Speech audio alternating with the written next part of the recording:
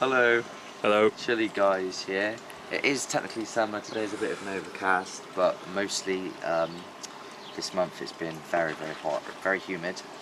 This plant here is the hydroponics. As you can see, it's a lot bigger than, I mean these are different breeds, but it's a lot bigger than these ones. African parasite, very raggled this one here. Eventually that becomes that, but we won't going to focus on that, we'll have a look at this.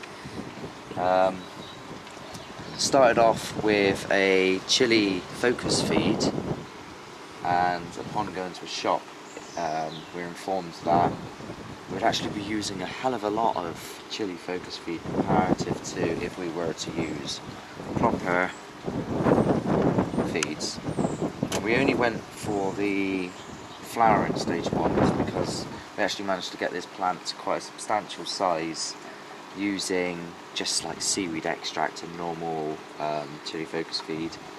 It's just about starting to get to that budding point now. Oh, There's a flower in there. tiny little bits, is there? You see-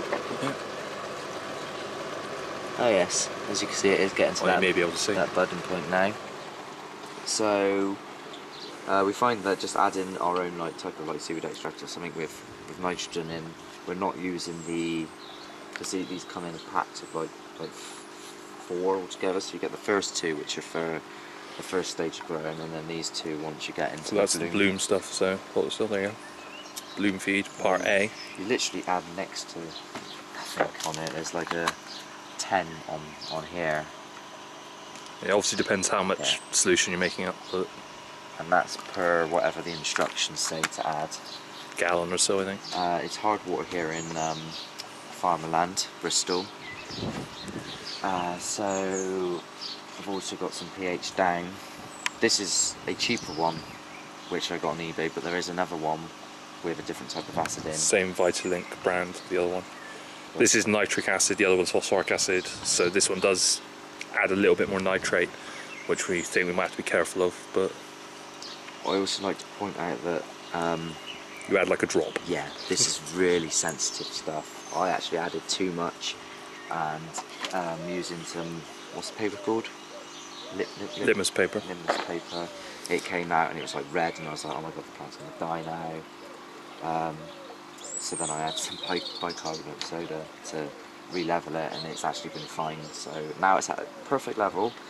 I wouldn't say you'd have to change the water that often. They do say every two weeks check the level, and if the level's going down, instead of topping up, completely like clean out the bucket and re-add ra- re-add it from the beginning, um, just to get a nice. Have we introduced the system before? I think I probably have, but just in case I haven't, it's a basic uh, system with pebbles in. As you can see, I mean, no one has not been seen it this before. I think you've probably seen it when I had this tomato plant in it. This time it's a chili plant. It's bubbling away down there.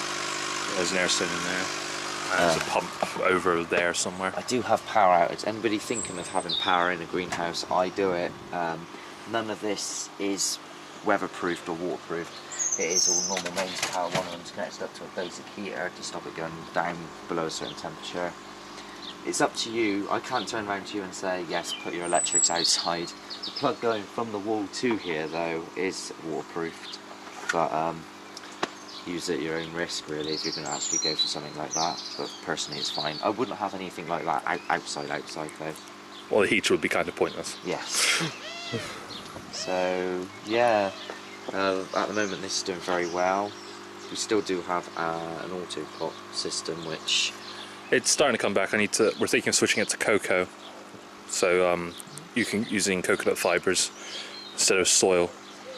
But it's uh, I put it outside and it lost all its leaves because we had a very bright week and the leaves were from winter, so it just dropped all the leaves. But it's starting to grow this back now, so we'll start increasing the nutrient. But it's way, way, way behind this. But it's still got a lot of uh, branch structure, so hopefully it'll come back quickly. so this is doing well. Hopefully, it gets some peppers on it once that gets to that stage. I'll do another video. If it doesn't get to that stage and it just stays as a bush, I'm going to also do another video just so I can like take it to the company and go, what did I do wrong? Well, you did it. That was the. It won't be nothing to do with me. But at the moment, it's all looking good, and hopefully I'll get some crop off of this. And then if it does work well, I might even get another one. Yeah. Because we can get pumps with a couple of stones, or might even be able to get like a trough system. Just get to fill that entire area with a, one massive Yeah, just get like a unit, tank. and then not bother with like dirt anymore. Apart from at the beginning stages of like propagation and stuff. Well, you can do hydroponic stuff for that, but you can. We this was started in dirt, wasn't it? yeah, this, This started in fine. a small amount I of mean, look at the size of the leaves. If you follow back through the videos, you can probably see the stages of where this was in dirt, and then I moved it into a small pot into water, and then from there into this pot, and then eventually it's like this. So, kind of, uh, yeah, nice and purple as well, which means Yeah. it's going mad with the growth hormone. It's going to get to a point where it's going to sort of reach its limit. Um, bring this down. As you can see, it's going to be squished in there, but hopefully it'll realise that and grow other directions. Oh, we could trim it. I think we. But yeah, it's all looking good for now. So thanks for watching. Subscribe, like, and share. And uh, until next time. Bye. Bye.